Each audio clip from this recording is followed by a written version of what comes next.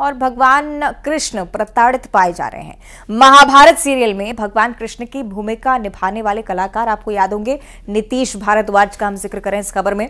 Bhopal police commissioner ने अपनी पत्नी की शिकायत की है। नीतीश की पत्नी स्मिता भारद्वाज पुलिस कमिश्नर से इनकी शिकायत देकर खुद वो पहुँचे। जो आई अधिकारी भी हैं, फ़िलहाल राज्य मानवाधिकार आयोग में वो तैनात हैं। नीतीश और स्मिता की जुड़वा बेटियाँ हैं। उनका यह आरोप है कि नीतीश की पत्नी उन्हें प्रताड़ित कर रही हैं। बेटियों से तक मिलने उन्हें नहीं दिया जाता। तो कलाकार नीतीश भारद्वाज, जिन्हें आप बखूबी समझते हैं, जानते हैं, अब उनकी तरफ़ से आरोप कि उनकी पत्नी, जिनकी प्रताड़ना का शिकार उन्हें होना पड़ रहा है। आईएएस अधिकारी के तौर पर काम करती हैं स्मिता, लेकिन पारिवारिक रिश्ते ठीक नहीं है। वो कह रहे हैं कि बेटियों से मिलने भी नहीं देती हैं और इसी के चलते मानसिक प्रताड़ना से वो जूझ रहे हैं। पुलिस कमिश्नर तक शिकायत लेकर पहुँचे हैं। अब ये देखने वाली बात कि कैसे सुलह करवाती है पुलिस इस पूरे मामले को लेकर। और जाने माने कलाकार हैं, आप जानते हैं उन्हें।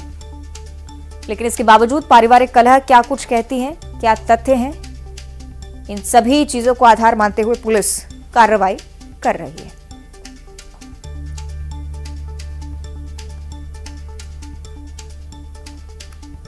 तो महाभारत सीरियल में कृष्ण की भूमिका अदा करते हुए आपने देखा है।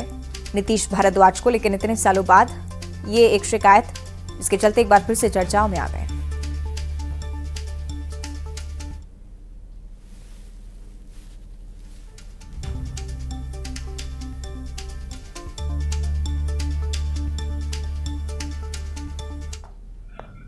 इस संबंध में एक शिकायत प्राप्त हुई है और पुलिस उस पूरे मामलों के तथ्यों की जाँच कर रही है। सभी का किसे सौंपा गया सर कौन जाँच कर रहा है सर? इसमें एक वरिष्ठ महिला अधिकारी पूरे मामले की जाँच करेगी।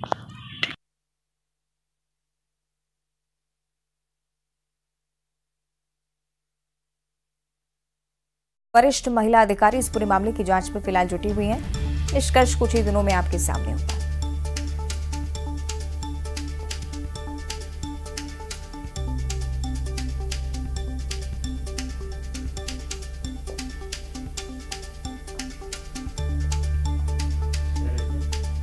नीतीश भारद्वाज जो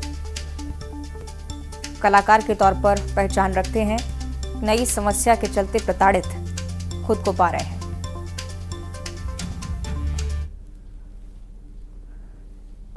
और एक और बड़ी जानकारी, लोकसभा